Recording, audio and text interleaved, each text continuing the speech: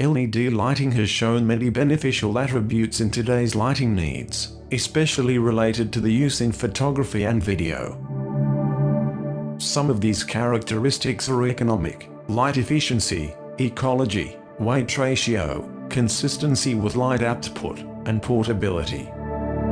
The largest issue in the use of these lights has been the cost. Many commercial LED lights have either been too expensive or not very efficient. Costs for LED lights have a range of $30 for single low output light to over $4,000 for the better units. I wanted to find a solution to this issue, so I could produce a relatively low cost but usable kit for both the professional and amateur alike.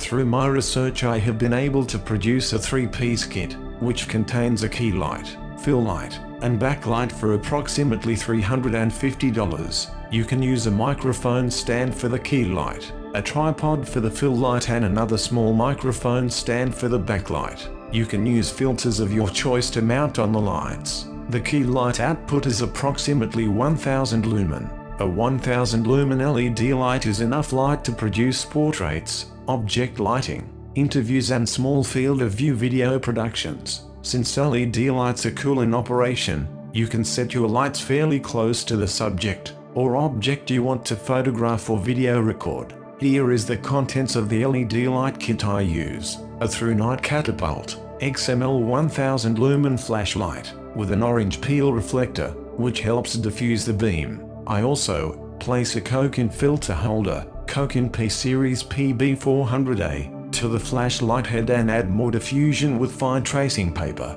Optionally you attach a Cokin Sunsoft filter to create a warmer effect. The fill light used as an LED shop light, Husky 180 LED, portable work light, with a frosted filter attached on the front by four velcro tabs. For the backlight or small spotlight I used a Coast LED Lenser 105 lumen flashlight, with an adjustable focus ring.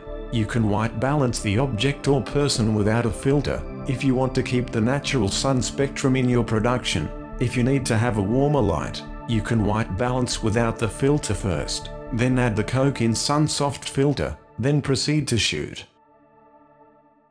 Let's go through a general setup of the LED light kit. First, get your key light, filter holder, and filters. Take your key light filter holder, Cokin P Series PB400A, and insert the filters of your choice. I use a custom cut fluorescent diffuser panel. Then I apply a piece of tracing paper on top of the diffuser panel. If you want you can apply any other filters you wish. I use a Cokin Sunsoft filter for a warmer effect. The filter attachment is then snapped onto the head of the ThruNite Catapult XML 1000 lumen flashlight. Note, it might take a couple of tries to mount the filter holder as it has to be pulled onto the flashlight head to be attached.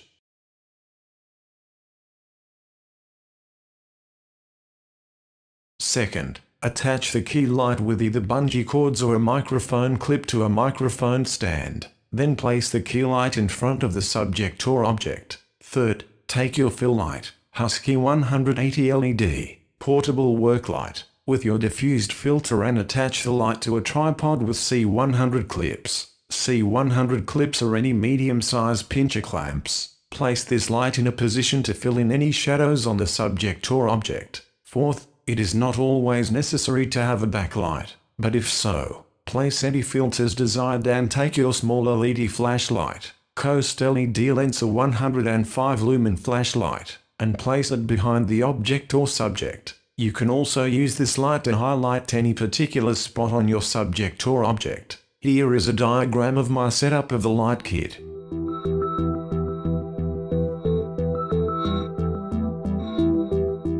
This is the actual setup of the key light and fill light. In this shoot I did not use a backlight.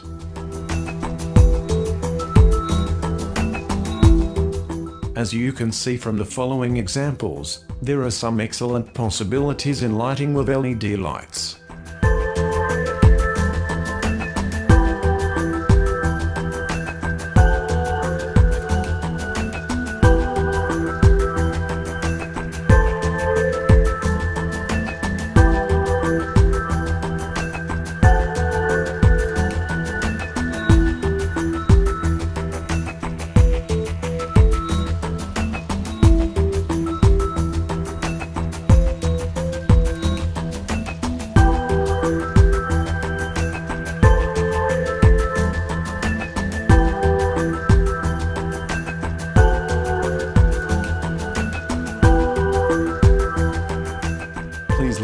Comment and or send me an email at herzog.guy at gmail.com.